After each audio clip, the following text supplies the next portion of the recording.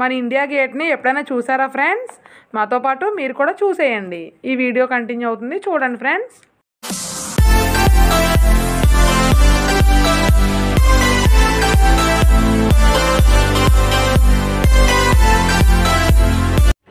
Hi అండి. నేను మీ lucky సౌజీ. మీరంతా ఎలా ఉన్నారు? నేనైతే చాలా బాగున్నాను.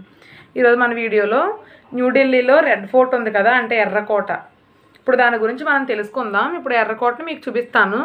దాని హిస్టరీ కూడా నాకు తెలిసినంత వరకు మీకు చెప్తాను. అంతకన్నా ముందు నా వీడియోస్ కనుక మీకు నచ్చితే లైక్ చేయండి షేర్ చేయండి కామెంట్ చేయండి. ఇంకా నా ఛానల్ ఎవరైనా ఫస్ట్ టైం చూస్తున్నట్లయితే వెంటనే మీరు సబ్స్క్రైబ్ చేసుకోండి. పక్కన బెల్ ఐకాన్ క్లిక్ చేస్తే నేను పెట్టే వీడియోస్ అన్నీ మీకు నోటిఫికేషన్స్ వచ్చేస్తాయి. ఇంకా లేట్ చేయకుండా వీడియోలోకి వెళ్ళిపోదామా friends? Let get start the video ఇప్పుడు మనం రెడ్ ఫోర్ట్కి వెళ్తున్నాం. రెడ్ ఫోర్ట్ని తెలుగులో ఎర్రకోట అని కూడా అంటారు. ఈ ఎర్రకోట మొఘల చక్రవర్తులకి ముఖ్య స్థావరం అంట. ఇది ఎయిటీన్ ఫిఫ్టీ సిక్స్లో దాదాపు రెండు వందల సంవత్సరాలు మొఘల్ చక్రవర్తులు ఈ కోటలోనే ఉండేవారంట అప్పట్లో. దీని కట్టడం అయితే స్టార్టింగ్ మే పన్నెండు పదహారు వందల ముప్పై ఎనిమిది నుంచి స్టార్ట్ చేశారు ఇది ముప్పై ఎనిమిదిలో. అది కంప్లీట్ అయ్యేసరికి ఏప్రిల్ ఆరు పదహారు వందల నలభై ఎనిమిదిలో ఎర్రకోట నిర్మాణం పూర్తయిందండి ఫ్రెండ్స్ ఇది. ఈ ఎర్రకోటని మనకి తాజ్మహల్ కట్టారు కదా షాజహాన్. అతనే కట్టారంట ఇది ఎర్రకోటని కూడా. అప్పట్లో అయితే ఈ ప్లేస్ని షాజహాన్ బాద్ అని పిలిచేవారంట కూడా అప్పట్లో అయితే. ఇప్పుడైతే మనం దీన్ని న్యూఢిల్లీ అని పిలుస్తున్నాం కదా అప్పట్లో అయితే షాజహాన్ బాద్ అని పిలిచేవారంట.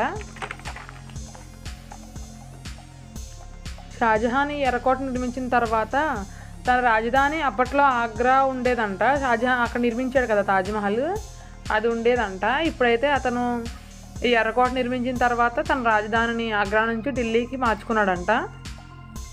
దాదాపు ఎర్రకోట రెండు వందల యాభై ఐదు ఎకరాల్లో ఉంది. అంటే ఇది మొత్తం ఇది కట్టిన ప్లేస్ అంతా టూ ఫిఫ్టీ ఫైవ్ ఎకర్స్ ఇవి. అంత పెద్దది ఉంటుంది ఎర్రకోట. ఈ ఎర్రకోటకి మనం మన ఇండియాకి స్వతంత్రం వచ్చినప్పటి నుంచి మన ఇండియాకి ప్రధానమంత్రి ఎవరైతే ఉన్నారో ఆయన ఎవ్రీ ఇయర్ ఇండిపెండెన్స్ డే అవి ఉంటాయి కదా. అప్పుడు ఆ టైంలో ఎర్రకోట దగ్గర వెళ్ళి ఫ్లాగ్ ఎగరేస్తారంట. ఇంకా ఎర్రకోట లోపల అప్పట్లో రాజులు అవి తిరిగే వరకు స్వరంగ మార్గాలు అంటారు కదా స్వరంగాలు అవి అసలు చాలా ఉన్నాయి చాలా ఉన్నాయి ఇందులో అయితే. మేమైతే అవన్నీ చూసాము. అంటే సీక్రెట్ రహస్య ఇది అంటారు కదా అవన్నీ కూడా. ఇప్పుడు ఖాళీ ప్లేస్ కనిపించింది కదా అక్కడ అప్పట్లో ఎవరన్నా వాళ్ళని రాజులని కలవడానికి వస్తారు కదా వాళ్ళని అక్కడ కూర్చోబెట్టి మాట్లాడేవారంట అక్కడ ఖాళీ ప్లేసుల్లో అవిని.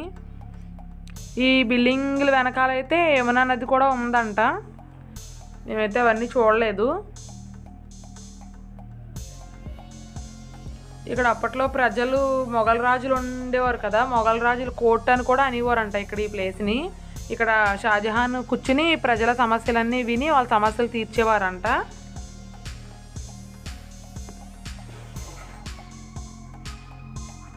అక్కడ బిల్డింగ్ వెనకాల యమునా నది ఉంది కదా యమునా నదిలోకి ఈ మొఘలు రాజులు అందరూ బోటింగ్ కూడా వెళ్ళేవారంట.